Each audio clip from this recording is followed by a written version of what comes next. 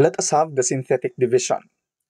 According to lumenlearning.com, synthetic division is a shorthand method of dividing polynomials for the special case of dividing by a linear factor whose leading coefficient is 1. Let us have example number 1.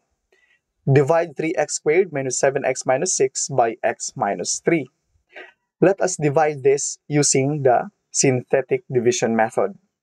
In the synthetic division method, we just need the coefficients of our dividend and then our divisor would be equated to 0 and we solve for the value of x.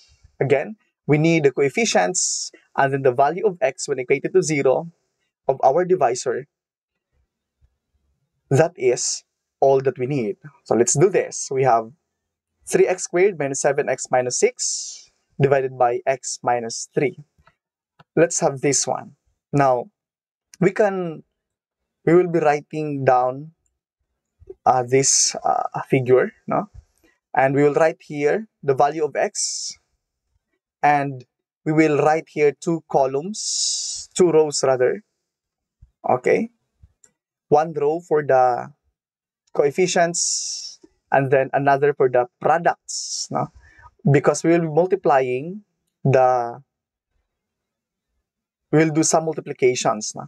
Okay, so let's do this. Again, we write down the coefficients and then we write here the value of x in our divisor when equated to x. So let's go back. We have 3x squared minus 7x minus 6. The coefficients are 3, negative 7, and negative 6. Okay, we write it down. We have 3, negative 7, and negative 6. Okay, now let's go to our divisor, x minus 3. When x minus 3 is equated to 0, this will become x equals, when 3 is uh, transferred to the right side of our equation, it becomes positive 3. That is now the value of x. So that is our divisor, 3. We write it here. Okay, positive 3. The first, next is we need to just bring down the leading coefficient, 3, here. And then we multiply 3 by the divisor. That is 3 times 3 is 9 and we write the product on the second column. 9. As then we add Okay, we add negative 7 plus 9 is 2. And then we multiply again the sum by the uh, number here that is 2 times 3 and that is equal to 6. And negative 6 plus 6 is equal to 0. Now, the rightmost number here is the remainder of our quotient. It's the remainder. As you can see, it's 0 and these are the coefficients of our quotient. In writing our quotient, take note that it would start uh, one degree lower than the dividend. So in this case, the dividend is 3x squared. Thus, uh, the quotient must start with x, no? one degree lower than the dividend. So in this case, we will these are again the coefficients. Then we will write it as 3, pair it with x, and then since this is positive 2, then we write it plus 2. So that means that means when 3x squared minus 7x minus 6 is divided by x minus 3, the quotient is 3x plus 2. So how did we get this? Okay, first, again, we write down the numerical coefficients of our dividend. We have 3, again, negative 7, and then negative 6. Okay, 3, negative 7, and negative 6. And we equate our divisor to 0, and we solve for x to get our value that will be written here no, on this side. And then we just bring down the leading coefficient, bring it down, and then multiply it by the number here, that is 3 times 3, and the product will be written on the second row, that's 9, and then this will be added. We will repeat the process until no coefficient is left. No? Negative 7 plus 9 is 2. Then again, multiply 2 times 3 is 6. Negative 6 plus 6 is 0. So again, the rightmost number here is the remainder. So there is no remainder in this case. And these, the remaining uh, numbers going to the left are what we call the coefficients of our quotient. And then in writing our quotient, we will start with uh, one degree lower than the dividend. Our dividend is x squared. Next is x. No? Thus, we will write the coefficient 3 and then pair it with x. And then since this is positive 2, then we have plus 2. The next is a constant. Okay? Thus, when 3x squared minus 7x minus 6 is divided by x minus 3, it is equal to 3x plus 2. Okay, let's have example number 2. Example number 2, we have 3, 2x cubed minus 3x squared plus 4x plus 5 when divided by x plus 2. Again, let's draw this figure and let's identify our number here first. now. We have Again, our divisor, x plus 2, will be equated to 0. And then we solve for x. And this is now x is equal to negative 2. So our number here is negative 2. Okay, let's identify the first column. The first column is consist of the coefficients. We have the coefficients are 2, negative 3, 4, and 5. Let's write it down. 2, negative 3, 4, and 5. We have 2, negative 3, 4, then 5, the constant term. Once you have written the coefficients and then the number, okay, the value of x, we will just bring down the leading coefficient, the first number, the first coefficient, 2, and then we multiply it by the value of x. Here, we have 2 times negative 2 is negative 4. Don't forget to write the first product on the second column. And then we add negative 3 plus negative 4 is negative 7. And negative 7 times negative 2 is positive 14. And then we add again 4 plus 14 is 18. And then we multiply again. 18 times negative 2 is negative 36. And 5 plus negative 36 is negative 31. So we have a remainder in this case, which is negative 31. So to write our quotient, when 2x cubed minus 3x squared plus 4x plus 5 is divided by x plus 2, we will start with x squared, right? So one degree lower. Let's write it down. We have 2 these are the coefficients. This is the remainder. X squared minus 7x. And then this is plus 18. And we have, since this is negative, we will write our remainder minus 31 over the divisor, which is x plus 2. Okay? So again, the, in writing the quotient, uh, we will write the remainder. But uh, let's start with the coefficients. No? Using the coefficients, it's one degree lower. No? We'll start our, our quotient one degree lower than the dividends.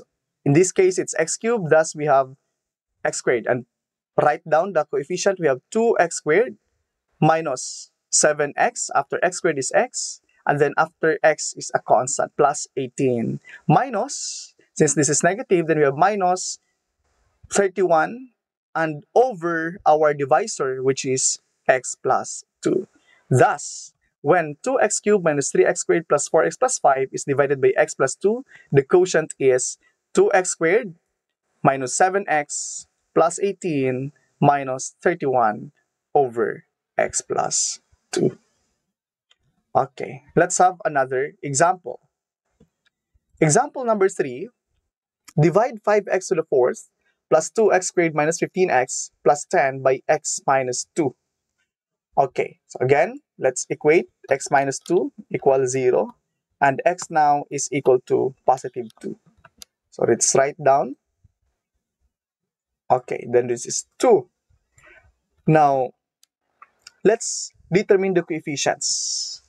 As you can see here, the terms are 5x to the fourth, 2x cubed squared minus 15x and then 10. Now, the coefficients are 5, 2, negative 15, and 10.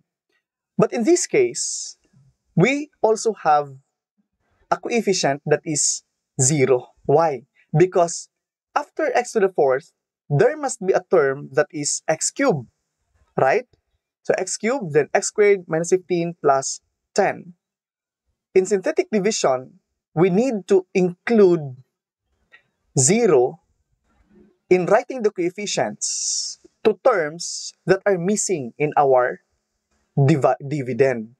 So we call it missing terms because they are not uh, there, no? They are not there. Let's just, uh, they are supposed to be there. The 5x to the fourth, it should be plus 0x cubed plus 2x squared minus 15x plus 10. So we have to write 0. So 5, 0, 2, negative 15, and 10.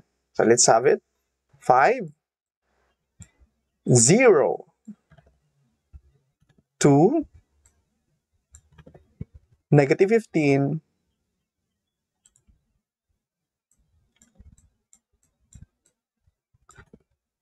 and positive 10.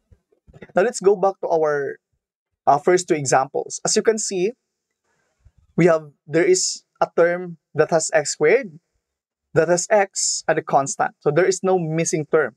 So we did not write 0 in our coefficient. Next, in example 2, x cubed, x squared, x, and then the constant. So there is no missing term. In this case, we have a missing term, x to the fourth, there must be x cubed. But since x cubed is missing, we write 0 in our uh, coefficients. We have 5, 0, 2, negative 15, and 10. So let's continue the process. We bring down the leading coefficient or the first coefficient 5 and then we multiply it by 2. We have 5 times 2 is 10 and then we add 0 plus 10 is 10 and then we multiply again 10 times 2 is 20 then 20 plus 2 is 22 22 times 2 is 44 and then negative 15 plus 44 this is 29 okay is that right no? 29 it's positive 29 and then 29 times 2 is 58 and we have our remainder 10 plus 58 68 okay so let's write down our quotient. Again the dividend is x to the fourth.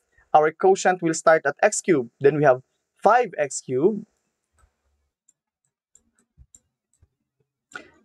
plus 10x squared. Again plus 22x plus the constant. So 3 2 1 and then constant. We have 29 plus we have 68 over the divisor which is x minus 2. So this is how we write the quotient when we use the synthetic division. Let us have our second to the last example. Oh, our last example, which is 2x cubed plus 9x squared plus 7x minus 6 and divided by 2x minus 1. Again, 2x minus 1 equals 0 and then we have 2x equals 1 and then x now is equal to 1 half. In that case, we uh, solve for the value of x. Then let's write it down here. We have, again, x is 1 half. Okay, let's write down the coefficients. Are the terms complete? Yes, we have 2, 9, 7, and negative 6. So 3, The exponents of x are 3, 2, 1, and 0 complete. So we just copy the coefficients 2, 9, 7, and negative 6. We have 2, 9, 7. And then the constant term, which is negative 6. Okay, again, bring down the leading coefficient or the first coefficient 2 multiplied by 1 half. That is equal to 1. Add, this is equal to 10. And then 10 times 1 half is 5. 7 plus 5 is 12. And then 12 times 1 half is 6. And negative 6 plus 6 is 0. Again, no remainder. Let's write down our quotient. We have 2 as the leading coefficient, x. Since our dividend starts with x cubed, our quotient would start with x squared plus, again, 10x, and then the constant term, which is 12. Thus, when 2x cubed plus 9x squared plus 7x minus 6 is divided by 2x minus 1, the quotient is 2x squared plus 10x plus 12. I hope this clarifies what synthetic division method is.